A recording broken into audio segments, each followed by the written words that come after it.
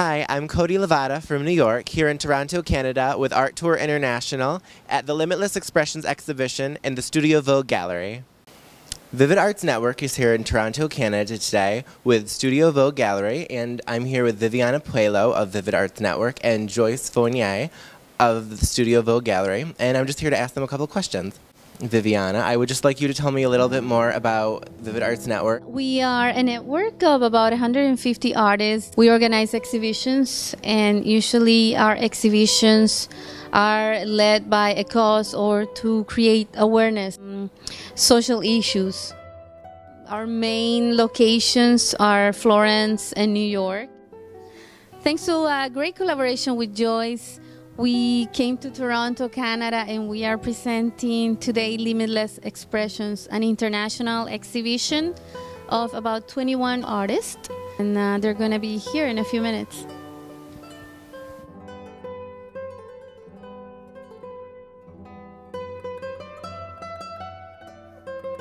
And Joyce, could you just tell us a little bit more about the Studio Vogue Gallery? Yes, thanks, Cody.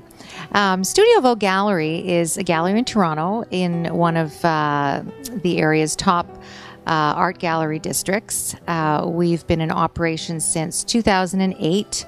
We started with two artists uh, in 2008, and now in 2012, we represent over 30 artists from Canada and around the world. So uh, these would be artists that are uh, emerging artists and mid career artists. And really, what we offer is a program of representation for artists who are looking to move their career, their art careers forward, and are trying to get uh, exposure in the, um, in the art market here in Canada and in North America. And now I was just wondering if the two of you could talk about how you came to be working together and how Vivid Arts Network and the Studio Vogue Gallery got together to work on this exhibition. We um, met during an exhibition in Florence. I was very impressed by Joyce's works and invited her to one of our events. I love the way um, she works, and I knew that there was a connection and, and an affinity of you know on, on the way that we work and the goals. And, and how much we care for the artist because we both are artists. So that's kind of how the idea of limitless expressions was born. You want to add something? meeting you in Florence uh, was a wonderful, uh, wonderful experience, and participating in the Symphony of Colors, which was my first exhibition with the Vivid Arts Network, uh, was a great experience. Uh, meeting a lot of the artists from other parts of the world, and uh, just great because I work very similarly to Viviana. Um, I'm really an artist advocate. I try to guide artists uh, as to how to move their career forward um, because I've had to do it all myself uh, for my own for my own art career. And so we met, Viviana and I. We spoke a little bit about perhaps coming together and forming some sort of collaboration to try to bring the Vivid Arts Network here to Canada. And so here we are today uh, for our opening uh, event. You mentioned earlier that um, both of your organizations like to bring about awareness of social issues that have impacted society. So, could one of you just explain what this exhibition is currently dedicated to working towards? On the Limitless Expressions exhibition, we are um, trying and putting all our efforts. And part of the proceeds of the sales are going to go towards the victims of the earthquake in Ferrara. Part of the staff of the Vivid Arts Network and myself are there. During the event of Earth Vortices, the earthquake took place. There are about 20,000 people right now without a house. They're homeless. When I presented this idea, when, when I told um, Joyce about what happened over there, we both agreed on uh, helping Ferrara on on our efforts on this on this event. Yes, it gives uh, us great pleasure here at Studio Vogue Gallery to be able to um, support this great cause. Uh, uh, with regards to the restoration of Ferrara and to help uh, the victims of the earthquake.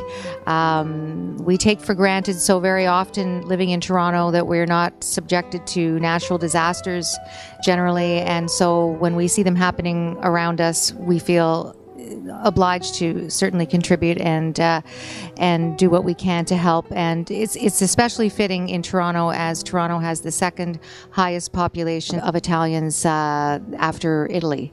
So it's it's very important to us here in Toronto. You both mentioned earlier that you're both artists, so could both of you just explain how you've gotten to this point and how you formed your careers over the past several years? Thanks, Cody. Uh, yes, I'm, I'm pleased to say that uh, I'm finally able to pursue my passion for art on a full time basis. Um, I spent uh, many years as a child drawing and painting and um, really enjoying art. However, in order to make a living, I ended up studying science. I ended up going into nursing and I spent many, many years in, in that field. And then I studied business and I spent many years working with my medical background in the business world, always realizing that I wanted to fulfill my dream of, of following my own art passion. I started taking classes uh, while I was working in business.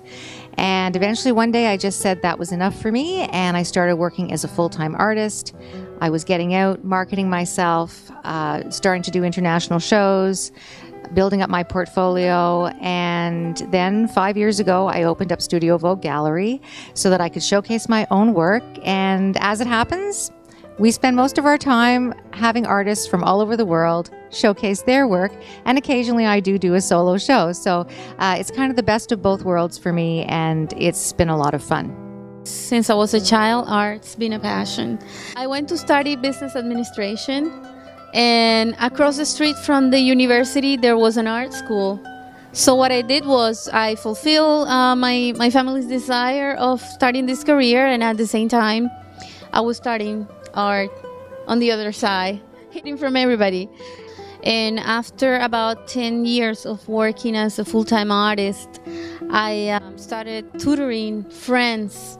And that's how Vivid Arts Network came to life, really, uh, by helping, by guiding, um, really spontaneously. A year ago, uh, in our efforts to improve the marketing, we partnered with Art Tour International, and uh, you know we're doing more and more. I'm really grateful for Joyce because it's opened up a new door for us, uh, which at at the end I think is our goal to work together to build bridges so that the artists who are looking to, to travel or to expose their works in different locations are able to do that. So we hope that in the future we can have more, uh, that our network is not just limited to artists but to organizations.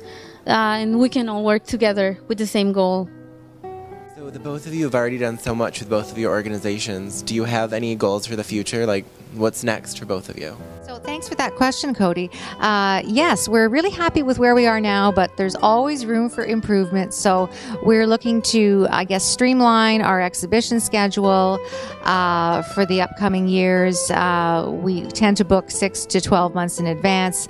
And of course, now with our wonderful collaboration with the Vivid Arts Network and Viviana Puello, uh, we'd like to be able to fit that into our annual schedule as well. And so we can offer the opportunity to more artists uh, from the Vivid Arts Network to come and visit Toronto. Moving forward, just um, keep going. I think that, uh, like Joyce said, there's always room for improvement. There's always room for growth. Giving more opportunities to more artists. I think uh, coming back to Toronto is absolutely in the future. This is just the first of many, many collaborations here, and, and I know it. And we'll be uh, probably networking and collaborating with Art Tour International a lot more. Art to Heart interviews are going to continue to the artists.